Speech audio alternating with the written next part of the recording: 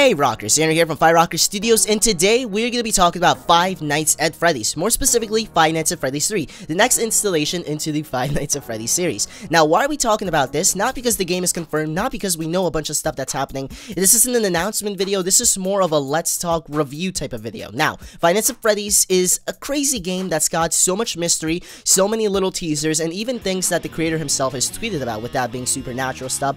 And this game is kind of in a cluster, and I've been reading everything on the wiki, all of your comments, and everything from my previous videos. So in this video, we're going to be going over the theories, the storyline, because this game actually, when you, a lot of people think that it's just a game where it's got some jump scares, but there is a crazy storyline in here, and a lot of things that are leading to many questions, which could have a lot of answers in the upcoming game. Now, I want to make it clear, as the making of this video, I do not know that a Five Nights at Freddy's 3 game is 100% planned. It hasn't been 100% confirmed, it might have, I just might have missed it, but we're talking about this because due to the huge success of Five Nights at Freddy's 1 and 2, there's most likely going to be a third installation into the franchise. So we're going to be talking about in this video both what we can expect to see, what we think, and I want to get you guys involved. Now in my last videos, I've always said it before, I am not an expert. I didn't create this game, I wasn't part of the development, and I don't know everything, given I do know a lot about this game because I have played it so much, but I don't know everything, and that's why I want you guys, want you guys to get involved in the comments. We talked about this in this endoskeleton video, so I'm going to be talking about a bunch of theories, going over some facts and things that we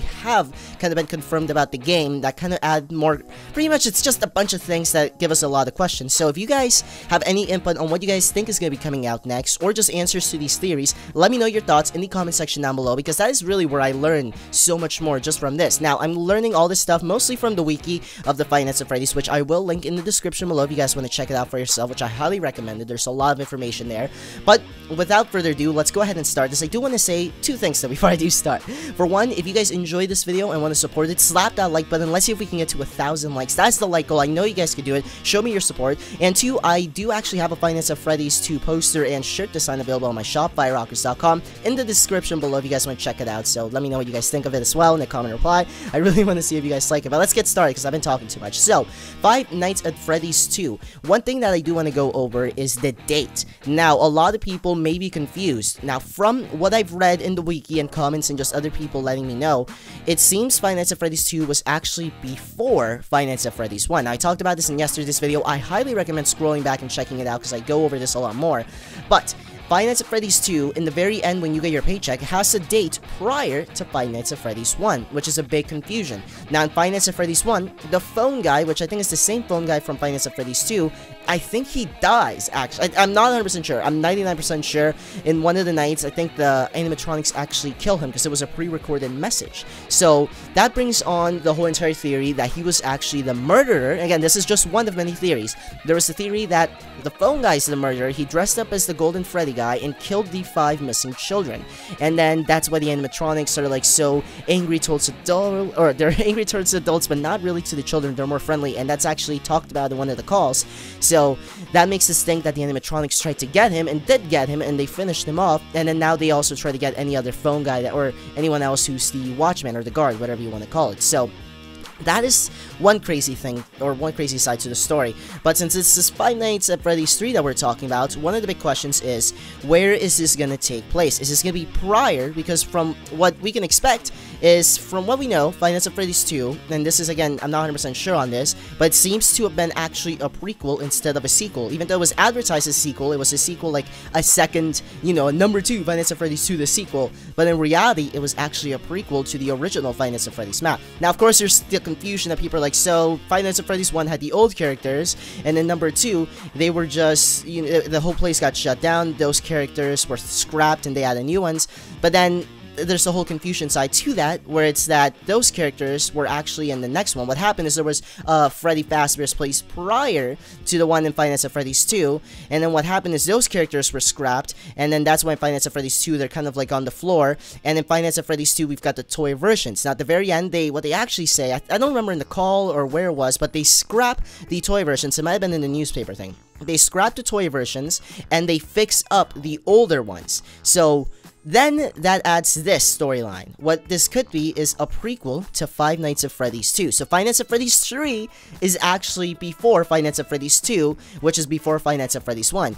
And also, this could lead back to the Bite of 87. And that, again, that would be in 1987, which, again, adds even more confusion to the whole entire storyline. But then it could explain the murder. So, what does this mean for us? Well, not 100% sure. So, when you think about it, in Five Nights at Freddy's 1, they close the doors. Now, we're talking about technology-wise. They have the ability to close the doors. You can't put on the Freddy head, but you can close the doors. So, you've got that. Whereas in Five Nights at Freddy's 2, you can't close the doors because they're not doors. They're vents, but you can put on the mask, but you do have to wind up the thing. It's confusing because they added more to the game, of course, because it's a second game. But as to the storyline, it's kind of it's it's a whole cluster, which makes this Five Nights at Freddy's 3 idea really confusing. Is this going to be after the Five Nights at Freddy's 1 game, or what? Because right now we don't really know.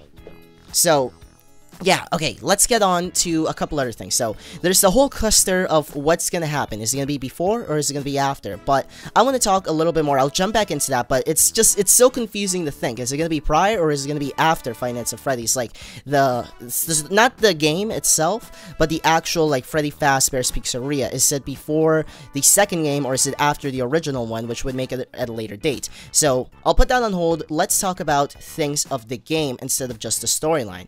So, the game's technology, like I said, I don't know what they could do, but I have a feeling, and this is just, this is a theory from myself, not from what I've heard, but just from what I think they could do, is possibly add a multiplayer. Maybe the ability to have two guards or something like that. Now, I do want to say one thing. I'm actually working with the original creator of the Minecraft Nights at Freddy's 1 and 2 games. Now, they were incredibly popular, and he's actually incredible at redstone and commands and everything, and we're going to be making our own fan Five Nights at Freddy's 3 minigame. Kinda with a whole entire our storyline is we're making it so it is two players. Actually, I'm just creating ideas. He's the one who's actually building it.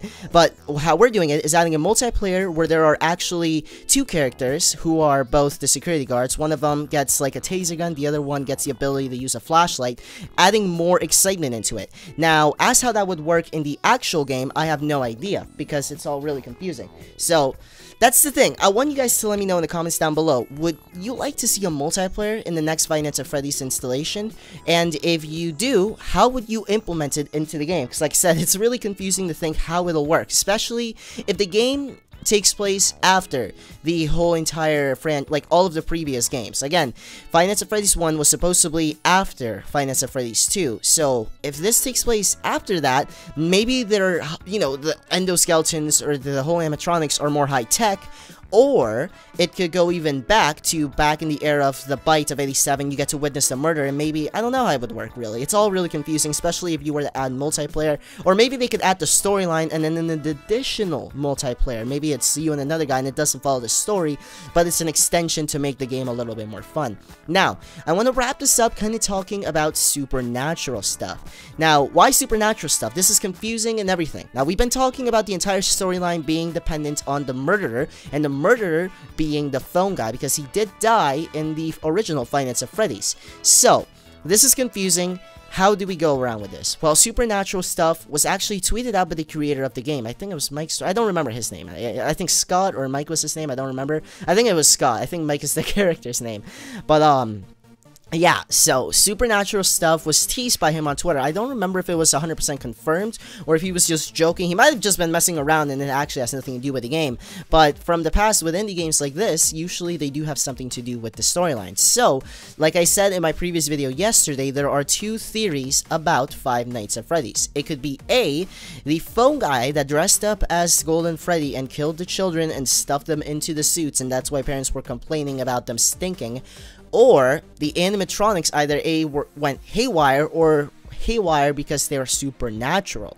Now that's a whole entire level of confusing, but it would make sense because the characters, their whole entire AI is if they don't see someone in the suit, they have to put them in a suit. So what could have happened is they just malfunctioned, saw the children, and stuffed them into a suit to the point where they died. And maybe they broke into the place after, and I don't remember if it was like during the actual daylight hours or if it was afterwards or if they were kidnapped and brought in there. I don't know, it's all confusing.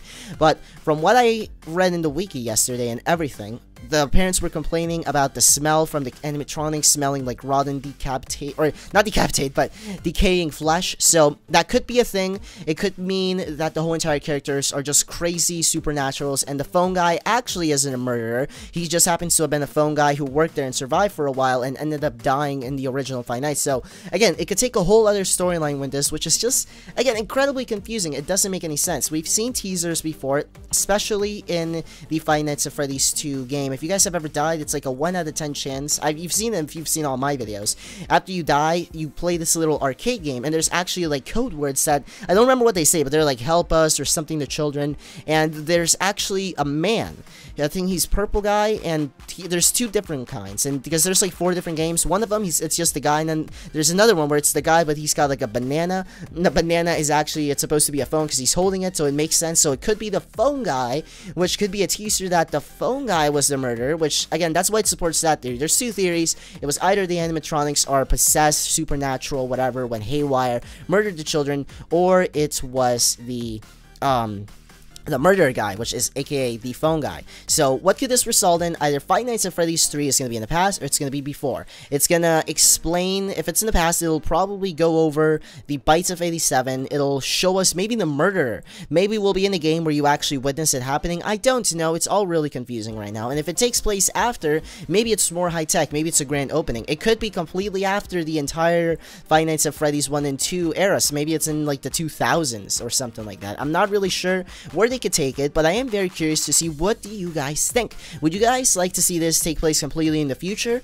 or go back and explain the murder mystery, explain why the animatronics are crazy, and explain everything. Because like I said, if this is all correct, Five Nights at Freddy's 2, especially because you can see the date on the paycheck, was before Five Nights of Freddy's 1, which then doesn't explain why the original characters got scrapped, so maybe it goes back previous to that, before the place got shut down, and then they just grabbed those characters and added the toy version. So it could do that, so that would be pretty interesting to see, but I want you guys to let me know in the comments down below. What do you guys think? Would you like to see it go back? Another thing that could happen is they could just say, screw the current storyline, go into the future for Five Nights at Freddy's 3, and it's just like really cool and something happens. And then Five Nights at Freddy's 4, if they feel like adding it, which it would make sense. These games have been incredibly successful. They could go all the way back and then explain the whole entire story, which would make sense. But I don't know, it's all crazy right now, and I have no exact idea of the path of Five Nights at Freddy's 3. And again, we don't even know if Five Nights Freddy's 3 is to come out. It might, again, as I'm making this video, it's I didn't actually take the chance to look up if it's been confirmed yet. I've seen comments, people talking about, Five Nights Freddy's 3, it's gonna happen and it makes a lot of sense. So in general, if it doesn't happen, that sucks, but it's most likely gonna happen. The hype is there, people want it, and I want you guys to know, would you guys like to see a Five Nights at Freddy's 3? Would you like it to be multiplayer? Let me know some of your thoughts in the comment section down below. I really do want to see your opinions and your suggestions as well. What do you guys think about the theories? What would you prefer it to be in the past or the future? And if you enjoyed this video, slap that like button. Like I said, I do sell Nights. I got, I got a couple of other designs, but the Nights at Freddy's 2 poster and shirt design just came out on my website, so if you guys would like to get them, be awesome and support me, go to firerockerz.com. It's in the description below, and tweet at me a picture of you wearing it, and I'll retweet it and Instagram it. And, uh, yeah, that's that's pretty much it for that. Thank you all so much for watching. Like always, I'm Andrew from Fire Rockerz Studios. You guys are rockers, and I will talk to you later. Bye! Hope you guys enjoyed this video. Make sure to stay up to date with me on Twitter and Instagram. It is at FRZ World. I also post daily on all three of my channels, that being Fire Rockerz Studios, FRZ World, and my gaming channel, Andrew vs. Games. I have them all actually annotated on the screen right now and in the description below if you are on a mobile device. And I stream every single week. It is twitch.tv slash Fire Rockerz Studios. Everything I said today is in the description below. So check that out, guys. Make sure to give a like to this video if you guys want to, of course. And let me know what you guys thought in the comment section down below Like always, I'm Andrew from Fire Rockerz Studios. You guys are rockers, and I will talk to you later. Bye!